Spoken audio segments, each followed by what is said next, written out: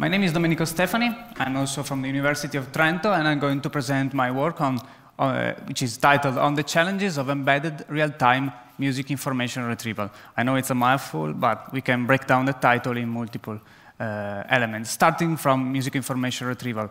Now, uh, we all uh, more or less know that this is a big research field that encompasses the research that leads to applications such as beat, detection, onset detection, music transcription, and more.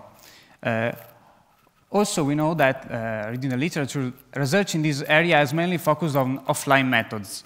Uh, that, that's fair. A lot of tasks only require offline run, uh, running offline these, these algorithms uh, on large data sets on uh, pre-recorded also audio, um, entire pieces of music or, or, phrases or only notes. Also, there are no tight constraints in offline execution on execution time.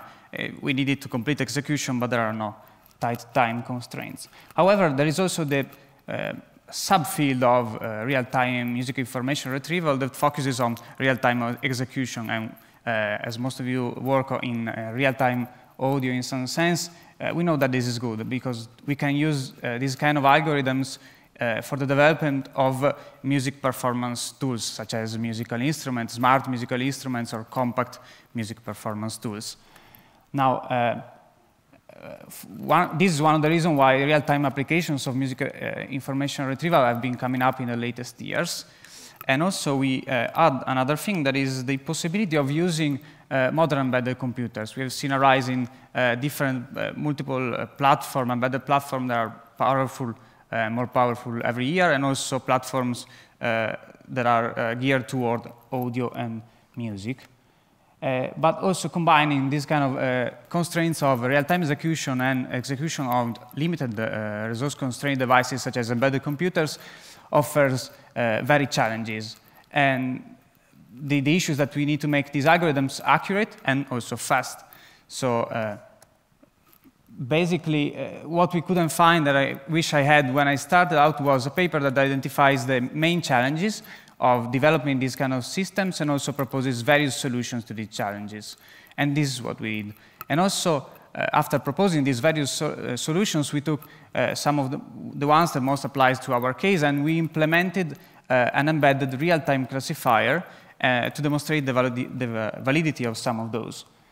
So uh, quickly, the, some of the challenges, and they might seem very, very uh, easy, but even when you start out, uh, when you start, they're very, um, you know, you need to know about this.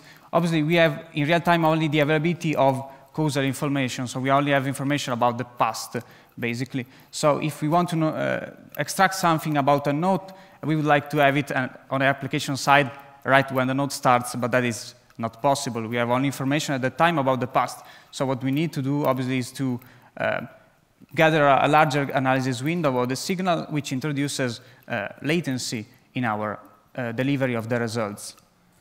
Also, uh, this also introduces uh, some kind of trade-off between accuracy and latency. We can gather a longer analysis window, but that means, uh, obviously, it means introducing more latency. Uh, in most cases, this also increases the accuracy of uh, whatever task we are trying to accomplish. Also, um, this trade-off comes on when using different types of algorithms, machine learning or DSP or um, deep neural networks, uh, but it also influences the um, this is also an issue when uh, thinking about the audio processing deadlines that we need to take into account when developing a real-time system. Uh, and also when developing a real-time system for audio, we need to take into account what are the real-time safety programming rules. So we don't want to uh, allocate memory, we don't want to wait on low priority threads, and that is something to consider also in this kind of music information retrieval uh, field. Uh, also, uh, there are uh, limitations uh, given by the embedded hardware and software that runs on these kind of devices that are different depending on which type of embedded hardware we are trying to use. We can have Raspberries, or we can have devices with GPUs, or we can have TPUs, and, and way more.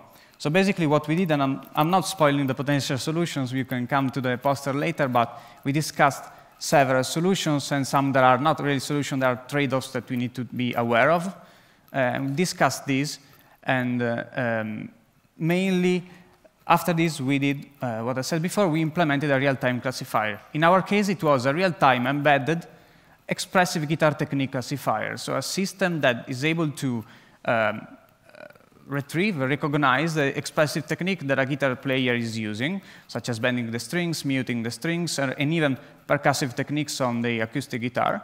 And this was used as a demonstration of some of the solutions and their, their, their uh, validity, since we are able to achieve a high accuracy in detecting and distinguishing some of these techniques, uh, and a low latency of classification, which is needed to then repurpose this information in real time to, for example, uh, resynthesize new audio that follows what we are playing on the guitar.